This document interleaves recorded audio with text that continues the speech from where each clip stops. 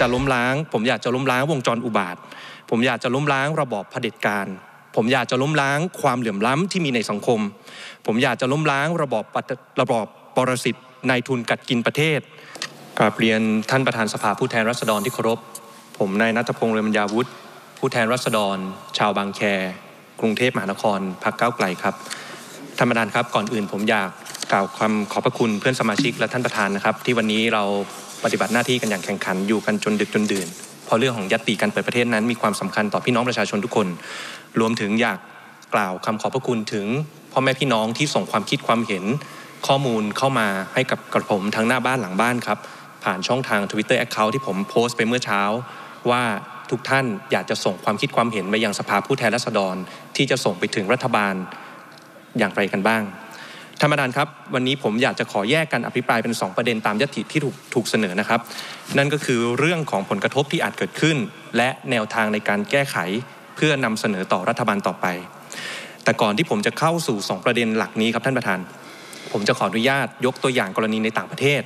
เพื่อเอามาใช้เป็นเกณฑ์ เทียบเคียงกับการบริหารจัดการของรัฐบาลในประเทศไทยนะครับ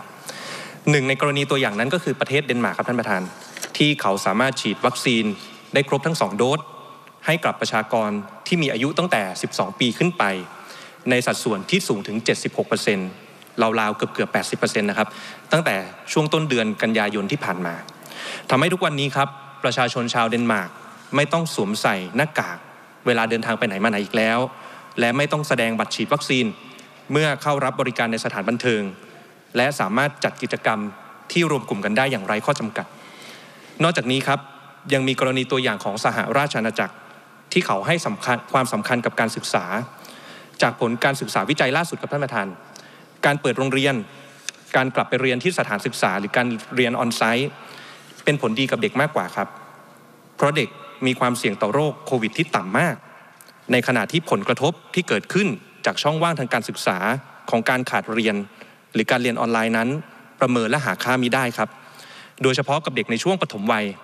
ที่เวลาการเรียนรู้ในช่วงวัยเด็กของเขานั้น หมายถึง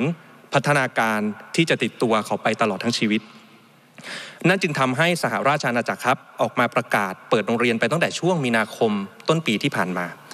ทีนี้หันมองประเทศไทยครับท่านประธาน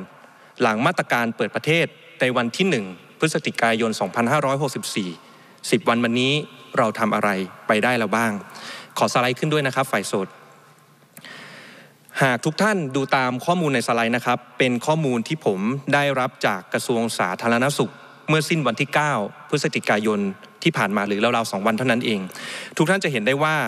ยังคงเหลือจังหวัดนำร่องการท่องเที่ยวตามการประกาศของรัฐบาลนะครับ ที่ยังตกหล่นฉีดวัคซีนเข็มแรกไม่ถึงเป้า 50%ซึ่งผ่านเส้นตายการเปิดประเทศมาแล้วมากกว่า 10 วันอีกหนึ่งจังหวัด นั่นก็คือจังหวัดหนองคายที่วงกลมแดง ๆ อยู่นะครับ และยังเหลืออีกราว 40 จังหวัด ซึ่งอยู่นอกพื้นที่นำร่องการท่องเที่ยว ที่ยังฉีดวัคซีนเข็มแรกได้ไม่ถึง 50%ท่านประธานครับ ผมเชื่อว่าท่านประธานทราบดีว่าโควิด ไม่ได้อยู่นิ่งกับที่ครับในขณะที่รัฐบาลแถลงว่าการฉีดวัคซีนให้กับพื้นที่นำร่องส่วนใหญ่นั้นเกิน 50%แล้ว แต่พื้นที่โดยรอบจังหวัดโดยรอบล่ะครับ ประชาชนโดยรอบเหล่านั้น เขาได้รับการปกป้องดูแลอย่างไรบ้าง ขอสไลด์ถัดไปครับ นอกจากนี้ครับ หากเราใช้เกณฑ์วัคซีน 50%ในเข็มที่2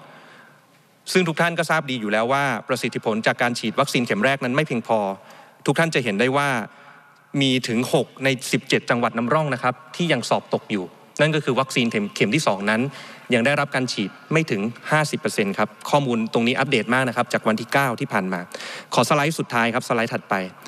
นอกจากนี้ครับหากเราเปรียบเทียบกับกรณีของประเทศเดนมาร์กที่ผมยกตัวอย่างไปตอนแรก ถ้าเราใช้เกณฑ์ 80%บ้างล่ะครับในวัคซีนเข็มที่ 2 ทุกท่านจะเห็นได้ว่า ทุกจังหวัดสอบตกหมดครับในจังหวัดนำร่อง ยกเว้นกรุงเทพมหานคร ที่มีเกณฑ์ฉีดวัคซีนได้ถึง 90%จังหวัดเดียวเท่านั้น แต่ส่วนใหญ่ก็ยังเป็นวัคซีนเชื้อตายนะครับท่านประธาน ผมคงไม่ต้องกล่าวถึงผลกระทบที่อาจจะเกิดขึ้น จากตัวเลขการฉีดวัคซีนเพียงเท่านี้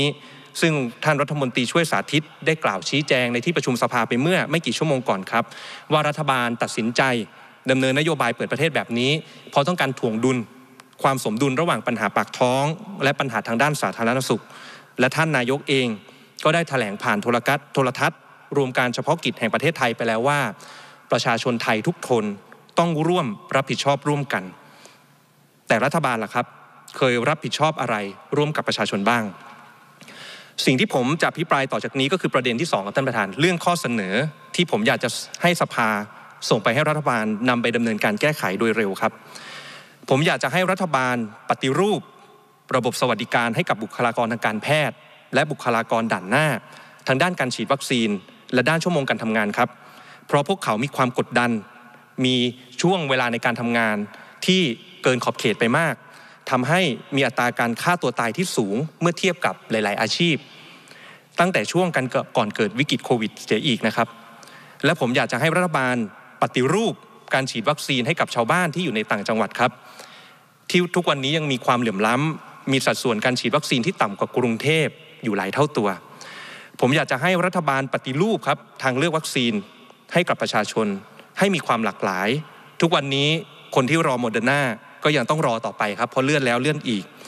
ถ้าวัคซีนที่รัฐบาลพยายามยัดเยียด ให้คนไทยฉีดนั้นดีจริง ทุกวันนี้รัฐมนตรีอนุทินก็คงเดิน เข้าประเทศสวิตเซอร์แลนด์ได้อย่างไม่ยากเย็นนัก และสุดท้ายครับ ผมอยากจะให้รัฐบาลปฏิรูปนโยบายการเปิดโรงเรียน ตามแนวทางของสหราชอาณาจักร เพราะเด็กๆ ทุกคนจะได้มีสังคมในวัยเรียนกับเพื่อน เวลาเหล่านั้นได้สูญเสียไปอย่างไม่มีวันหวนกลับอีกแล้ว ทุกวันนี้คือข้อเสนอที่ผมอยากจะให้รัฐบาลนำไปปฏิรูป เพราะคำว่าปฏิรูปคือการแก้ไข ไม่ใช่การล้มล้างนะครับท่านประธาน ผมขอกล่าวทิ้งท้าย ครึ่งนาทีนี้ครับ ถ้าผมจะล้มล้าง ผมอยากจะล้มล้างวงจรอุบาท ผมอยากจะล้มล้างระบอบเผด็จการผมอยากจะล้มล้างความเหลื่อมล้ำที่มีในสังคม ผมอยากจะล้มล้างระบอบระบอบปรสิตนายทุนกัดกินประเทศ อยากจะล้มล้างการเลือกปฏิบัติ และความไม่เท่าเทียมทางเพศ ผมอยากจะล้มล้างความอายุติธรรม และความไม่ชอบธรรมในระบบยุติธรรมไทยสำคัญที่สุดครับท่านประธานที่เกี่ยวกับยตินี้ ผมอยากจะล้มล้างความระยำตำบอลของการฉีดวัคซีนของรัฐบาลชุดนี้ครับ ขอบคุณครับ